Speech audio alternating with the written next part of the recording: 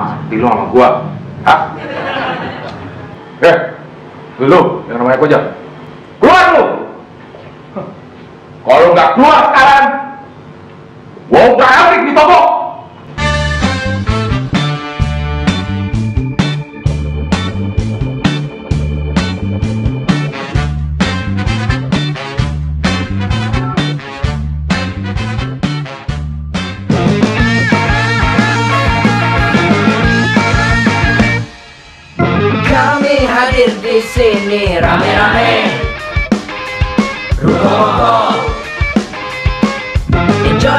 Enjoy ketawa ketiwi rame-rame. Rokok Hilangkan semua masalah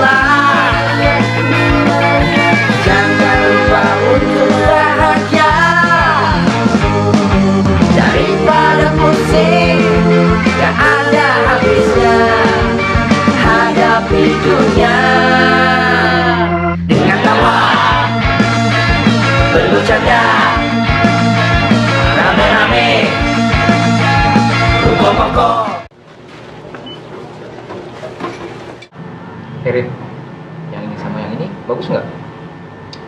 Hmm, bagus, Jang. Kalau yang ini? Yang ini juga bagus. Emang lu mau beli? Enggak sih Erin, cuma lihat-lihat doang. Lihat-lihat. Emang mau nyebrang? Kalau semua orang kayak lu bisa tutup semua toko online di Indonesia. Erin bisa aja dah. Kalau emang lu pengen beli, ya mulai nabung lah, Jang. Gimana mau nabung Kak Erin? Cicilan gua aja masih banyak banget. Lu banyak cicilan kok banyak mau.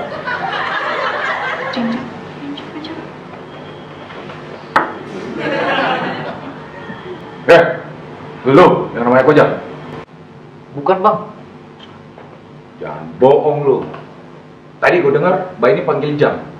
Berarti kan nama lu Kojak. ya bang. Bukan berarti yang dipanggil namanya Jang.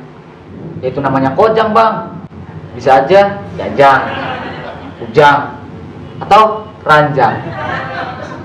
Bercanda lu sama gua. Mati lu sama gua. Hah? Ya elah bang, mati mah kagak usah dicari bang. Ntar juga dia datang sendiri. Banyak bacot lu ya. Gua nanya sekali lagi. Lu yang namanya Kojak? Hah? Bukan bang, saya Ajang. Kebetulan si Kojang lagi libur deh kayaknya. Jangan sok melindungi teman lu segala. Hei Kojak! Keluar lu! Kalau nggak keluar sekarang, gua udah abrik di toko. Kojak! Oh. Santai dong. Di toko orang kok malah teriak-teriak? Lu Kojak? Wajah manis kayak gini dibilang kojang. Please deh. Berarti ini, ini yang namanya. Bapak. Eh, Mas, yang sopan ya. Saya itu Wendy. Saya pemilik toko ini. Anda siapa? Hmm? Oh, jadi bapak bosnya si Kojak. Kojak mana Pak? Kojang lagi libur. Anda siapa? Keperluannya apa datang kemari? Saya ke sini mau nagih utang cicilan motornya dia. Sudah tiga bulan dia belum bayar. Kojang punya utang. Berapa sih utangnya? Tiga juta setengah. Baru 3 juta setengah. kojang, kojang. Kenapa nggak bilang sih sama saya kalau dia punya utang? Lu mau bayarin yuk? Ya enggak lah pak. Ketahuan uangnya saya buat beliin cincin. Saya kasih ke Dona. Cincin kawin. Cincin kayu pak. Hei, Malah ketawa berdua. gua itu di sini nagih utang. Pada takut kayak gitu. Nah, lihat, muka gua sudah sangat. Lu nggak takut sama gua? Hah? Sama Mas. Ya takut lah. Udah gini aja mas. daripada masalahnya makin ribet berlarut-larut nggak ada hasil dan juntrungannya mendingan mas samperin aja ke kosannya Kojang Gua itu sudah bolak balik ke kosannya dia. Tapi si dia nggak pernah muncul dan nggak ada.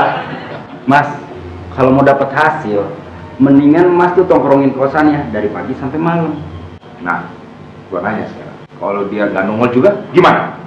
ya tenang nanti saya kasih tau Kojang biar dia gantian nongkrongin tempat mas dari pagi sampai malam masa yang nggak ketemu Hah? Soalnya habisnya nih obrolan. Lusa, gua balik lagi ke sini. Jangan ada yang ngelindungin dia. Kalau ada yang berusaha ngelindungin dia,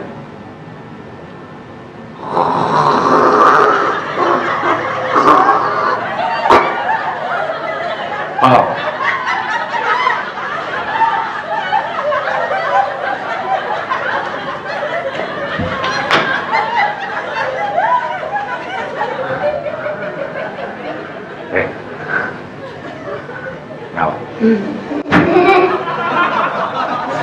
eh,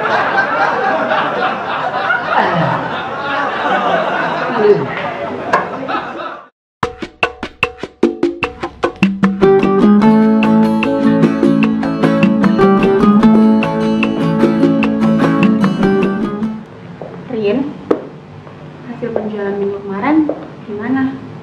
Alhamdulillah bu, ramai yang beli. Syukurlah. Eh iya Rin, nanti malam temenin saya meeting sama orang vendor. Aduh bu, maaf banget, saya nggak bisa. Malam ini saya rencana mau beresin kamar kosan bu. Ya, sayang banget ya. Padahal nanti meetingnya itu di restoran Korea. Kalau Kenneth pula lagi. Hmm, belum rezeki kamu berarti Rin. Eh, bisa deh bu.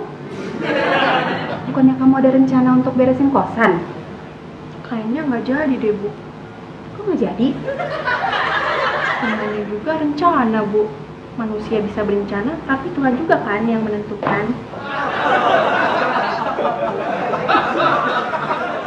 Ada yang mau meeting dulu makan enak nih.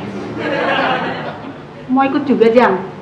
Ya, kalau dadak boleh sih bu. Tapi saya nggak mau ngajak tuh. Ajang, Kojang ke mana? Kok belum datang sih? Ojang, kayaknya lagi dibukin sama orang-orang deh bu. Digebukin. Iya. Kenapa baru sekarang? Lalu bisa aja. Soalnya kemarin ada debt collector bu yang datang ke toko, marah-marah terus nyariin Kojang. Aduh, serem amat. Apanya yang serem bu? Muka kamu Jang.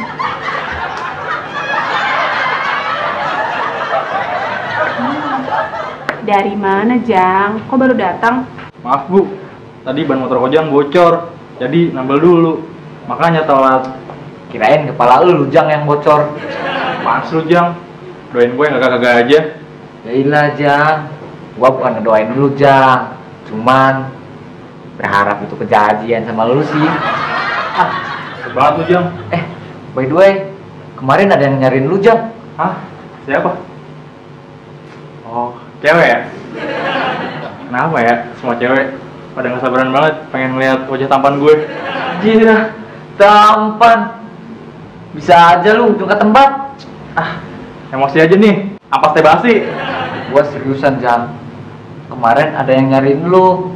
Bukan cewek, cowok. Mana serem banget lagi badannya. Kayaknya mau nagih utang lu dah. Waduh, Jang. Deko tuh, Jang. Debt collector. Maaf ya Jang. Jatah pinjaman kamu bulan ini udah habis. Kok ibu tahu sih Kojang mau minjem duit? Saya itu nggak sekali dua kali ngadepin orang kayak kamu. Yang kalau udah kepepet, baru deh sadar sama isi dompet.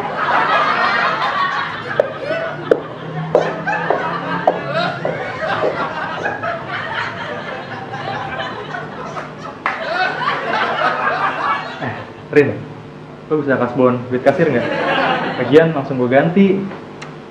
Nggak bisa Jang, kalau mau minjem langsung ke Bu Ayu aja. Ah, ribet nih Rin. Kalau nggak mau ribet, jangan ngutang lah Jang. Huh, Jang, main gua ke depan yuk.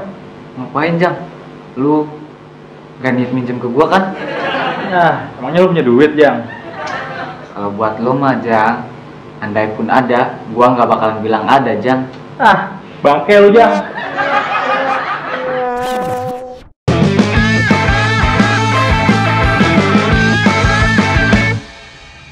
Kami hadir di sini rame-rame.